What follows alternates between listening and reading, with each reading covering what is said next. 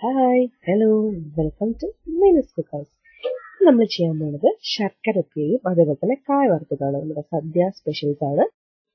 നമുക്ക് നോക്കാം ഇതെങ്ങനെയാണ് ഉണ്ടാക്കുക എന്നുള്ളത് ഞാനൊരു മൂന്ന് പച്ചക്കായാണ് എടുത്തിരിക്കുന്നത്. അത് വെച്ചിട്ടാണ് ശർക്കര ഉപ്പേരിയും അതേപോലെ തന്നെ കായ വറുത്തതും കൂടെ ഉണ്ടാക്കാൻ പോകുന്നത്. പകുതി പകുതി എടുത്തിട്ട്.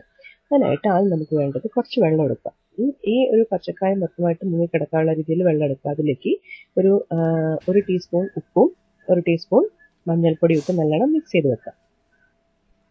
ഫസ്റ്റ് നമ്മൾ ഇതിന്റെ തൊലിയൊക്കെ കളഞ്ഞിട്ട് ആ മഞ്ഞൾ വെള്ളത്തിലേക്ക് ഇട്ട് കൊടുക്കുക.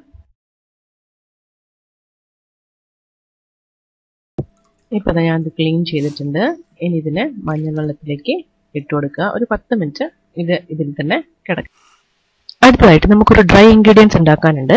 അതിനായിട്ട് ഒരു ടീസ്പൂൺ ജീരകം സാധാരണ ജീരകവും ഒരു മൂന്ന് ടീസ്പൂൺ പഞ്ചസാരയും കൂടെ നല്ലോണം പൊടിച്ചെടുക്കുക. അതിന്റെ കൂടെ ഇനി നമുക്ക് വേണ്ടത് ഒരു ടീസ്പൂൺ ചുക്കുപൊടി. ഒരു ടീസ്പൂൺ ആണ് ഒരു ടീസ്പൂൺ ചുക്കുപൊടിയും പിന്നെ നമ്മൾ നേരത്തെ പൊടിച്ചെടുത്തതും കൂടെ മിക്സ് ചെയ്തിട്ട് എടുത്തു വെക്കുക. അപ്പോഴേക്കും നമ്മൾ വെള്ളത്തിലിട്ട് കായല്ലേ അത് എടുത്തിട്ട് നല്ലോണം തുടച്ച് അതിന്റെ മേലുള്ള വെള്ളമൊക്കെ പോക്കിയിട്ട് എടുത്തു വെക്കാം ഇനി അതിനെ മുറിച്ചെടുക്കണം നമുക്ക്. മുറിച്ചെടുക്കാൻ ആദ്യം ഒന്ന് നടുമുറിക്കുക എന്നിട്ട് നിങ്ങൾക്ക് വേണമെങ്കിൽ നാല് കഷ്ണമായിട്ട് മുറിക്കാം അല്ലെങ്കിൽ രണ്ട് കഷ്ണമായിട്ട് മുറിക്കാം. ഇത് കുറച്ച് തിക്നെസ്സിൽ വേണം നിങ്ങൾ മുറിച്ചെടുക്കാൻ. ഭയങ്കര നൈസ് ആക്കണ്ട. ഏകദേശം ഈ ഒരു തിക്നെസ്സിൽ വേണം നിങ്ങൾ മുറിച്ചെടുക്കാൻ വേണ്ടിയിട്ട്. അങ്ങനെ ബാക്കിയെല്ലാം മുറിച്ചെടുക്കുക. ഞാൻ ഈ മൊത്തത്തിൽ മൂന്ന് കായന ഒരു ഒന്നര കായ നമ്മൾ ശർക്കര വരട്ടി ഉണ്ടാക്കാൻ വേണ്ടിയിട്ട് എടുത്തിട്ടുണ്ട്. അതിന് ഇനി എണ്ണ ചൂടായിട്ട് അതിലേക്കിട്ട് വറുത്തെടുക്കാം. നിങ്ങൾക്ക് എന്ത് സൺഫ്ലവർ ഓയിലോ അല്ലെങ്കിൽ വെളിച്ചെണ്ണയോ ഏത് വേണം ഇടാം. ഒന്ന് കളർ മാറുന്നത് വരെ ലോ ടു മീഡിയം ഫ്ലെയിമിൽ ഇട്ടിട്ട് വേണം നിങ്ങളിത് കുക്ക് ചെയ്തെടുക്കാൻ വേണ്ടിയിട്ട്. അപ്പോൾ ഞാൻ ഇതെല്ലാം വറുത്തെടുത്തിട്ട് കാണിക്കാം. ഹൈ ഫ്ലെയിമിലിട്ട് കുക്ക് ചെയ്തെടുക്കരുത്. അപ്പോൾ മേലെ മാത്രം കളർ മാറുള്ളൂ ഉള്ളിൽ കുക്കാവില്ല ഇനി നമ്മൾ നെക്സ്റ്റ് ചെയ്യാൻ പോണത് ഒരു രണ്ടാണി ശർക്കര എടുത്തിട്ട് അതിലേക്ക് ഒരു കപ്പ് വെള്ളവും ഒഴിച്ച് നല്ലോണം ഒന്ന് അതിനെ ശർക്കര ഒന്ന് അലിയിച്ചെടുക്കാം ഇനി അതിലേക്ക് ഒരു നുള്ളു ഉപ്പും കൂടെ ഇട്ടുകൊടുത്ത് മിക്സ് ചെയ്യാം.